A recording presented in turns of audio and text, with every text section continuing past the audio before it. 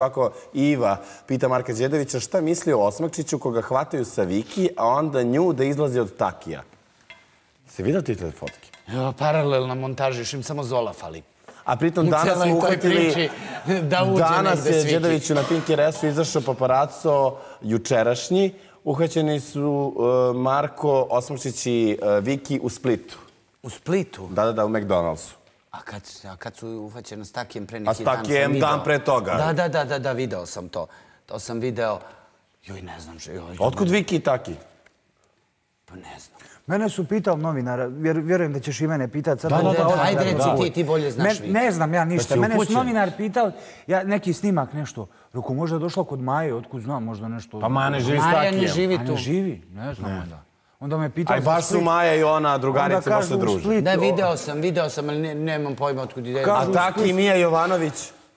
Mija Jovana. Da, u bazenu. Ko je? Taki, bre, ne bude li ušao u zadrugu, veruj mi, ja ću, idem da, ja ću da idem ispred tog ulaza, da ga vrebam, da ga ubacim u zadrugu.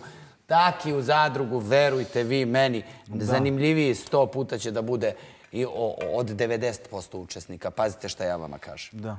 Ima taki da ih oprca sve. Ovaj, što se tiče tog, iskreno, mene nešto i ne interesuje. Čuo sam da, da je A negdje... kako na si ti odnosu sa Osmakčićem? Bilo je mnogo planova, pa onda i svađa, pa onda onaj njegov izlazak i tako dalje. Stvarno ste onako bili, što se kaže, kao onako ti prosti.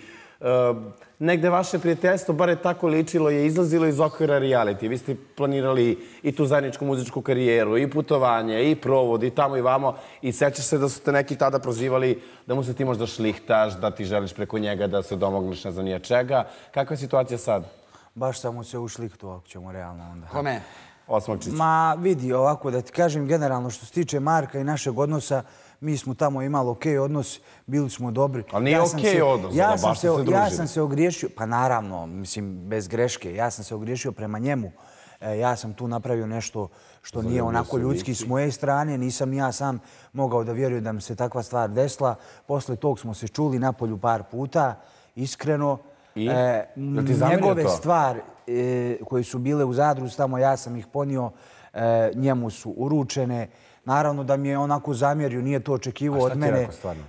Pa trajao je malo duže razgovor, sada ne prepričavam svašta. Pa dobro, ne, u svakom slučaju e, rekao mi je da je svašta mogao da očekuje od mene, ali da takvu stvar iskreno nije mogao da očekuje, da sam ja trebao da znam da on još uvijek ima možda neke emocije prema njoj na neki način.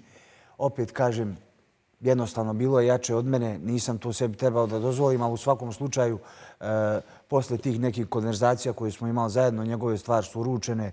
Ja sam slučajno nešto pogledao, nekom je poslao poruku, vidio sam da me više ne prati na Instagramu, tako da sam ja njega pričaš. otpratio i to je to u svakom slučaju. Završili? E, Marbelja ništa. E, vidi, iskren da ti budem, e, ja sam se ogriješio prema njemu, opet kažem, e, sad, ne bi iskreno da pričam više o toj temi, nešto, svi me pitaju to, ali ne želim ja sad tu neke svoje prognoze da dajem i da ja pričam onako kako je to sve zaista se izdešavalo i onako kako sam ja u tom cijelom odnosu i sa njom, e, ja sam ispao neko ko je, znaš, ono, kao malte, neš, malte ne nešto letio za njom, ona je bila neko ko nije davao nikakav povod.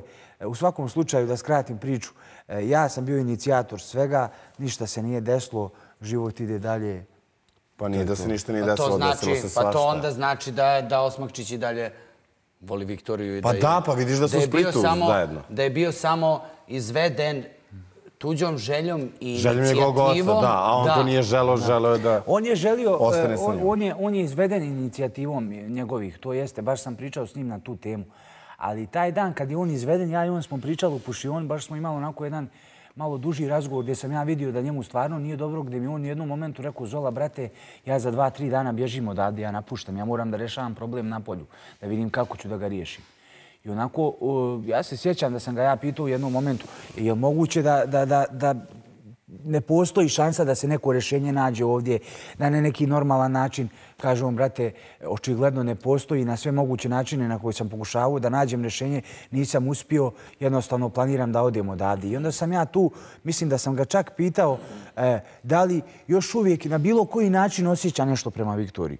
On je meni, ne mogu da vas lažem, rekao da ne osjeća ništa čovjek. I to tebi na neki I način dalo zeleno svetlo kada si ti Kao da mi je to dalo zeleno svjetlo, ali opet nije to opravdanje. Mogu je čovjek reći da je da ju mrzi. Ja nisam e, e, trebao sebi da dopustim tako nešto za, za pravo, razumiješ? Ovaj, drugo- ja, ja nisam trebao sebi da dopustim takvu stvar ovaj, da se men desi taj kiks, razumiješ? Jer ja mislim, mnogi su komentarisali kao vid Zola se prišlepo za Viktoriju, kao da se plasira kao daleko, kao zbog Viktorije. Vid, molim te, Ispala ja, plase, ja plasiraniji od Viktorije bio, još se ukanalio s njom s tim postupkom. Baš men treba Viktorija Mitrović da bi se ja plasirao u realitiju dobro. Tako da ovaj, u svakom slučaju sam sebe sam ukanalio s tim šta god postupkom. da je bilo, ali, ovaj, ali očigledno da Osmakčić nije svojom voljom izašao iz reality. A sad me Ne, interesuje... jasno je da on nije iza- izašao svojom Franjo voljom. misli o, o ovim susretima svog sina i Viktorije? Mislim, opet, opet pokojni. pandrkno. Pa ne znam šta da ti kažem, Bože mi oprosti. Ovaj, pa on je Vaskrso u jednom Pokojni. trenutku bio.